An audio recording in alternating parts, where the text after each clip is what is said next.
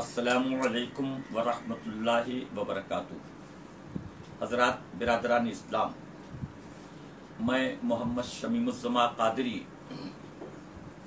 पीलखाना हवड़ा, बंगाल से आपसे मुखातब हूँ। आज शाबानुल मुअज्जम की उनतीस तारीख है। रमज़ानुल मुक़द्दस का चाँद आज देखना है। आप तमामी बिरादरान अहल सुन्नत और तमाम मुसलमान इस्लाम से मेरी मुद्दबाना गुजारिश है कि आज आप लोग रमज़ानमक़दस के चाँद देखने का अहतमाम करें। और चाँद नज़र आ जाए तो उसकी इत्तला दें, ताकि चाँद के नज़र आने पर आज तरावी का अहतमाम होगा। लेकिन अफसोस के साथ ये कहना पड़ रहा है, चूँकि इस वक्त कोरोना वायरस की जो फिजा है और कोरोना वायरस की वजह से जो हमारे मुल्क, बल्कि पूरी दुनिया का जो माहौल है, कि लोगों का एकजा होना, एक जगह जमा होना खतरे से खाली नहीं है। इसलिए नमाज़ तरावी सुन्नत मौकदा है, जैसे हमेशा होती है, होगी।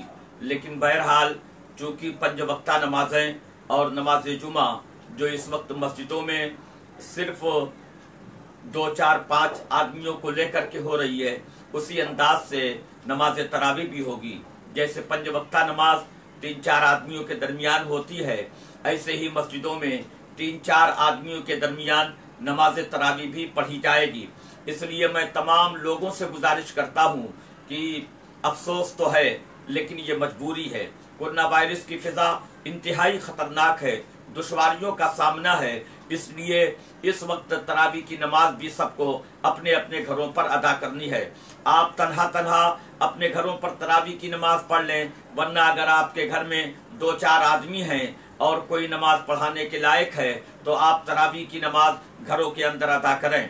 अगर कुरान अजीम कोई सुनाने वाला है, हाफिज कुरान है तो उसके पीछे दो तीन आदमी होकर के पढ़ लें, वरना अगर कोई नहीं है तो तनहा तनहा नमाज़ पढ़ लें। और अगर कोई नमाज़ पढ़ाने के लायक है तो सूर्य तरावी, अलम तरा से लेकर कुलोजुबिन्नास तक, या और कोई भी सूर्य जो भी याद है, अपनी याददाश्त के मुताबिक कोई नमाज़ पढ़ाने के लायक है तो अपने अंदाज से सूर्य तरावी पढ़े, कोई सूर्य सूर्य फातिहा से मिला करके पढ़ करके पूरी तरावी की नमाज़ इस तरीके से अदा करें। लेकिन आप हजरात कतई तौर पर मस्जिदों में आने की जहमत ना फरमाएँ। इसलिए कि मस्जिदों में सिर्फ़ तीन चार आदमियों के दरमियान ही नमाज़ तरावी की अदायगी होगी। हमारे यहाँ गौसिया मस्जिद काफूर गली जहाँ का मैं इमाम खतीब हूँ यहाँ से भी आ, मैं आपको मुतला कर रहा हूँ कि यहाँ भी तरावी की नमाज़ उसी अंदाज से होगी जैसे पंज वक्ता नमाज़ हो रही है। यानी सिर्फ़ दो चार आदमियों के दरमियान ही नमाज़ होती है, इसी अंदाज से तरावी की नमाज़ भी पढ़ाई जाएगी। आपसे इंतहाई अदब के साथ मेरी ये गुजारिश है कि आप हजरात भी कतई तौर पर मस्जिदों में आने की कोशिश न करें, नमाज़ तरावी के लिए मस्जिद में ना आए, बल्कि अपने घरों के अंदर नमाज़ तरावी अदा करें।